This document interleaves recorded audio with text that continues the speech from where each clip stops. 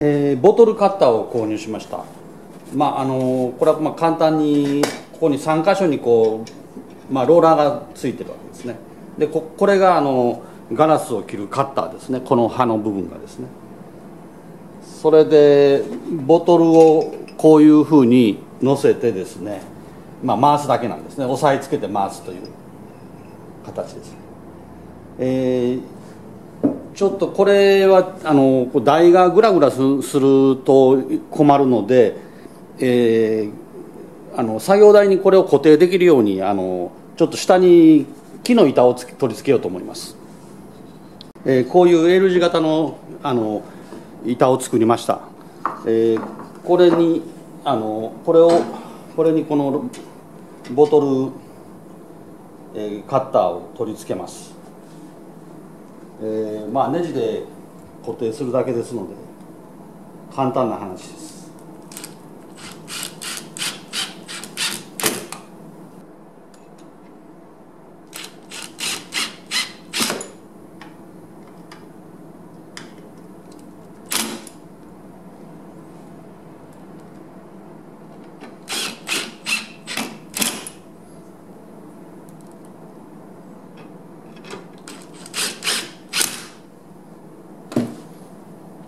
えーこれで完了ですね、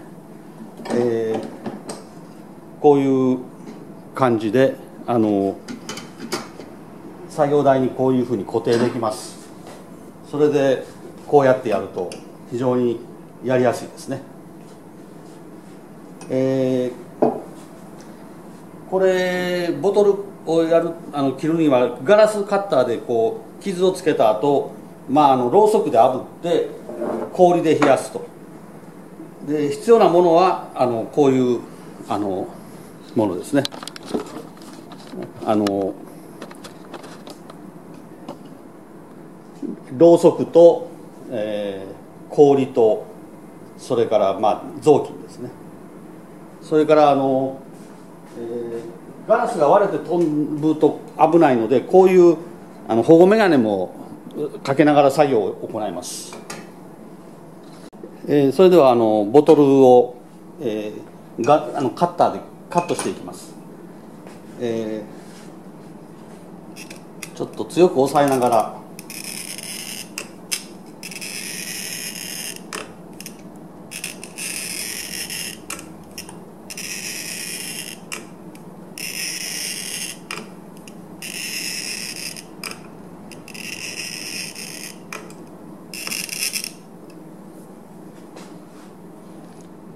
えーこれでこういうふうにあの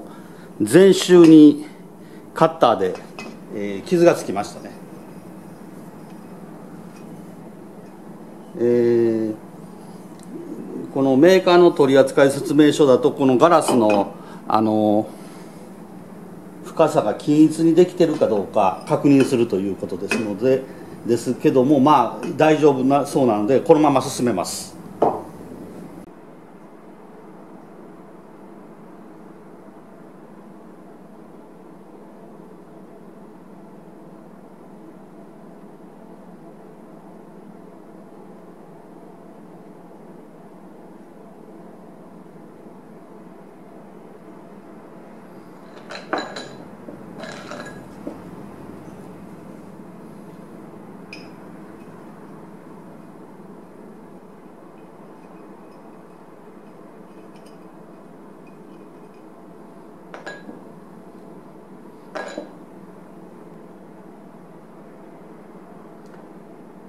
ちょっとまだ火が弱いようですね。このろうそくの火が。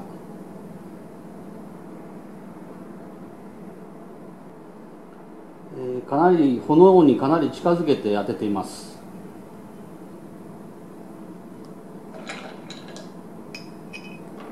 氷で冷やしてこの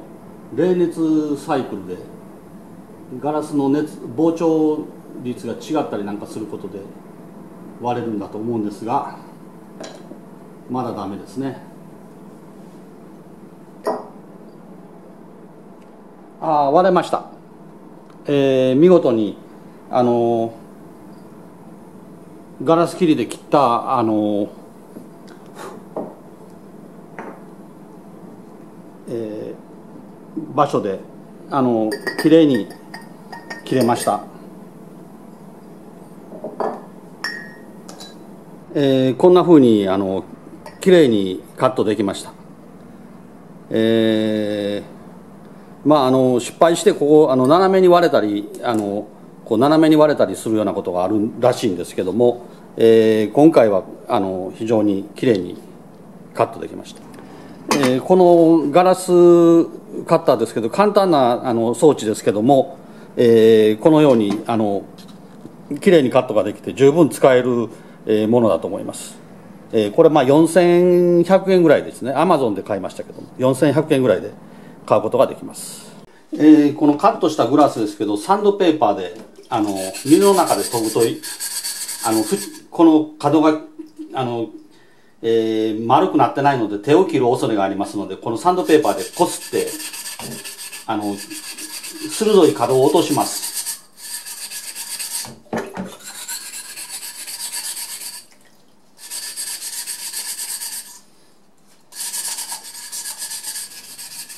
これはあの、えー、赤ワインのボトルですね、えー、太陽の光であの劣化しないようにこう色づきになって緑色になってるわけですね。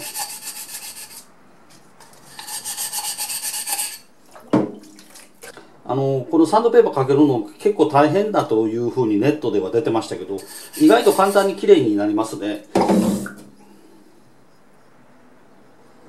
えー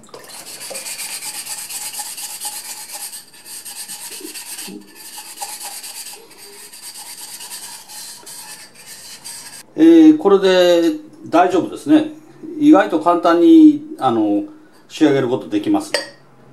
えー、これはあの400番の水研ぎ用のとあのサンドペーパーですね。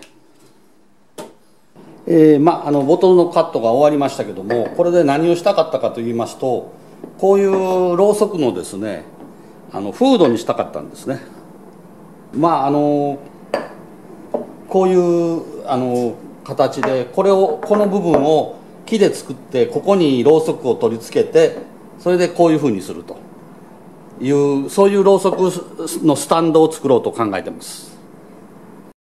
えー、工房の中をあの探しますとこういうあの丸い木がありました。これまあどなたかからいいたもので何の木かちょっとわからないんですけど、えーそこそこもう十分乾燥しててそこそこ重い木ですね。それでまあちょっとあの元のオリジナルのボトルよりちょっと低いんですけどまあこれで我慢して、まあ、こんな感じになるわけですね。こういうあの、えーまあ、ろうそくスタンドといいますかこれを作ってみたいと思います、えー、旋盤に取り付けました。あのこれからあの、えー、ここにつかみしろを作ります。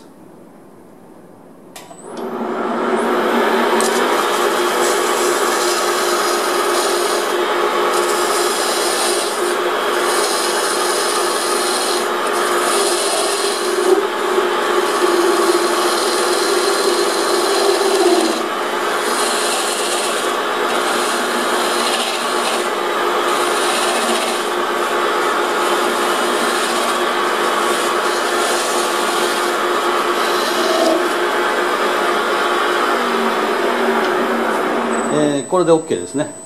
えー、チャックでつかみ直します。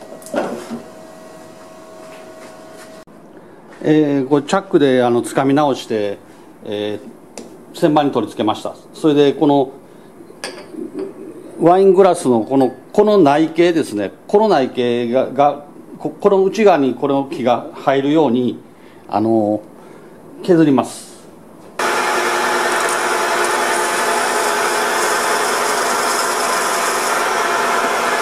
まあ、一応あの69ミリなあのワインの瓶の内径があの69ミリですので一応ここで鉛筆でここに線を一応入れて大体の目印を作ってあります。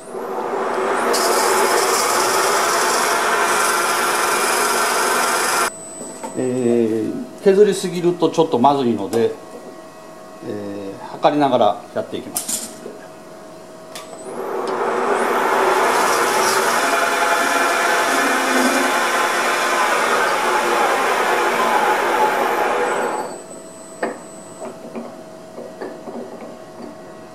ちょっとやりすぎましたね。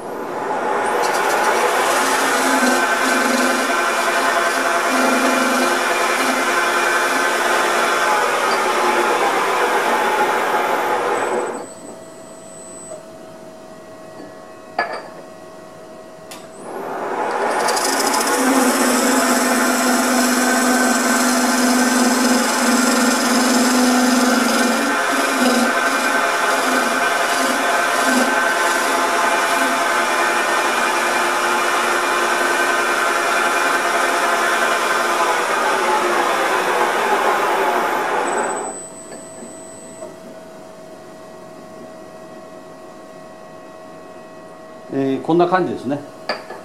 えー、ちょっときつきつめに入るぐらいで。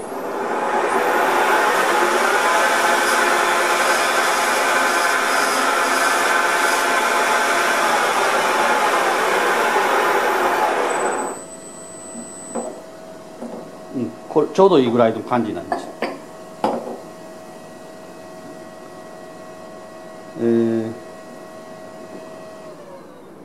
これであのこのあの外この木をあのこの瓶の直径と同じぐらいにします、えーこれもちょっと鉛筆で線を入れた方が安心できますね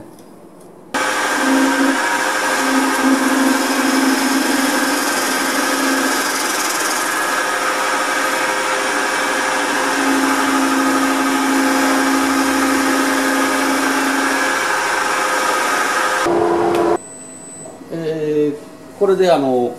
サンドペーパーをかけていきます。あの180番からぐらいからかけても十分だと思います。非常にきれいに切れてますので、えー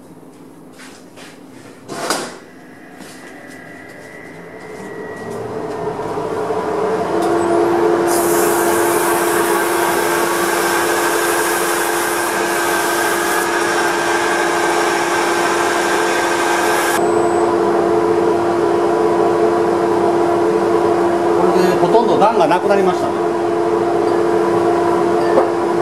えー次は240番。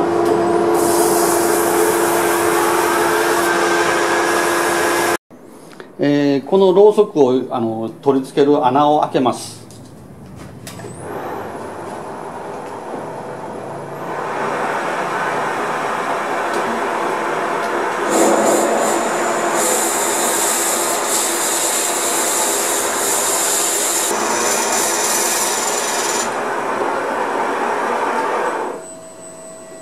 うんこれで大体 OK ですね。えーあのチャックでつかみ直しました。あのこのまな板チャックですね。こういうものをはめてあの傷がつかないようにして掴んでます。でこのさっき反対側にあったつかみしろですね。これを切り落とします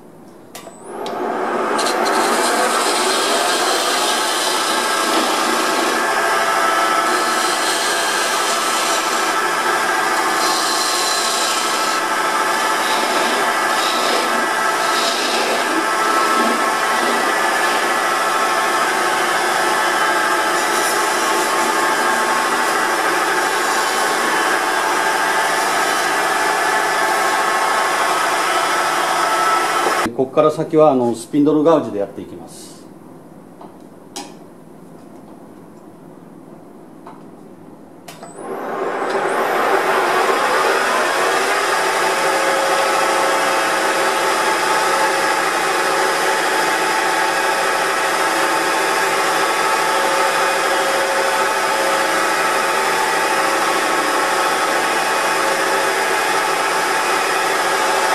あの本物のワインのボトルはもうここういうふうに赤ワインの場合そこがこうあのへこんでるんですね。これをちょっと同じようにやってみたいと思います。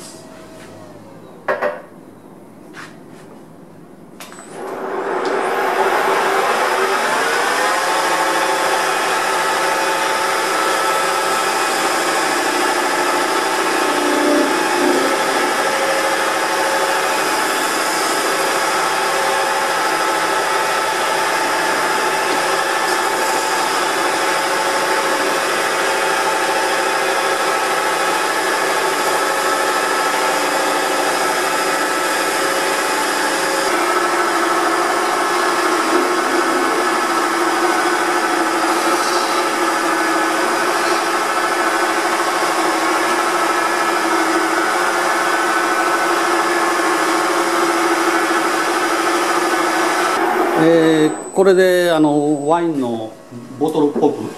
なったんで、えー、サンドペーパーをかけて終わりにします。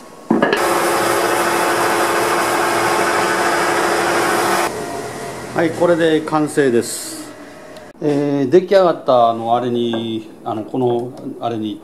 あのろうそくをつけてあの試してみましたけども火が消えてしまいますね。あのガラスのあのボトルのあれをかぶせると空気があの